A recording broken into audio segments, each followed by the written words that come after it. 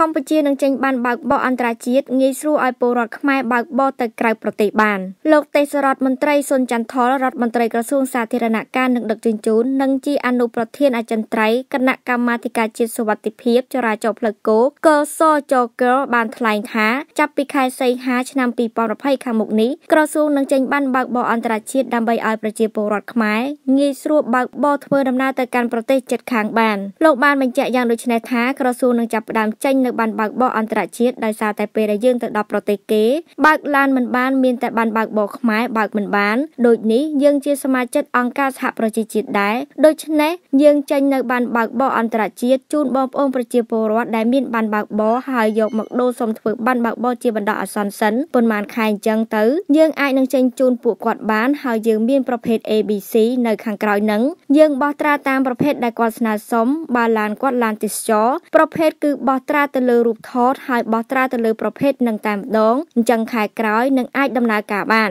លោកបានបន្តទៀតថាដើម្បីផ្ដល់នូវភាពងាយស្រួលជូនបងប្អូនប្រជាពលរដ្ឋនៅក្នុងការមកបដូរយកបានបើកបរដែលបច្ចុប្បន្ននេះមានទីតាំងនៅផ្សារទំនើប Eon 1និង Eon 2ហើយក្រសួងសាធារណការកំពុងត្រៀមរៀបចំបន្ថែមពីចំនួនទីតាំងទៀតនៅផ្សារទំនើប Noromore របស់ក្រុមហ៊ុនជីបម៉ុងនិងម៉ជីបម៉ុងសានសុកដើម្បីផ្ដល់ភាពងាយស្រួលសម្រាប់ប្រជាពលរដ្ឋដូចនេះខាងក្រសួងនិងខាងផ្សារកំពុងតែពិភាក្សាគ្នាផងដែរលោកក៏បានបញ្ជាក់បន្ថែមទៀតផងដែរថាដោយសារតែក្រុមហ៊ុន Grab ចង់ឲ្យបងប្អូនអ្នកពិការមានការងារធ្វើដែលអាចបើកបរបានបើទោះបីជាកឬថ្លង់ក៏ដោយក៏យើងអាចចេញនៅបានបើកបរជូនគាត់បានដែរនាងខ្ញុំស៊ីណាត់ពី KBN News